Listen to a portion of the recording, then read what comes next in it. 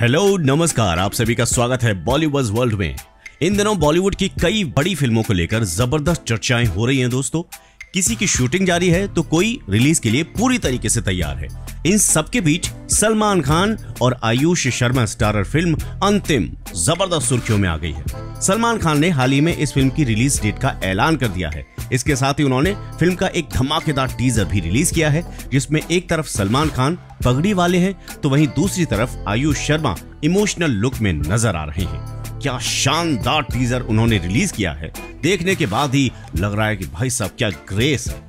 सलमान खान ने हाल ही में अपने इंस्टाग्राम अकाउंट पर एक पोस्ट शेयर किया है, जिसमें उन्होंने आने वाली मोस्ट अवेटेड फ़िल्म अंतिम का टीजर जारी कर दिया है। इस टीजर की शुरुआत होती है सलमान खान की तस्वीर से, जो जूम आउट होते होते आयुष शर्मा की आँख तक चली जाती है। टीजर में आयुष का चेहरा खून से लथपथ दिखाया गया है और उनकी आँखों से आँसू गिरते हुए दिखाए जा रहे हैं। उन्होंने हाथ में एक बंदूक भी ले रखी है और वहीं सलमान खान के हाथ में उस बंदूक के कुछ कारतूस भी नज़र आ रहे हैं। बड़ा एकदम रहस्यमयी तरीके से सलमान खान ने इस टीजर को रिलीज़ किया है। लेकिन अंतिम क्या कमाल कर पाती है या फिर राधे की तरह फुस हो जाती है, ये देखेंगे जब ये रिलीज़ होगी।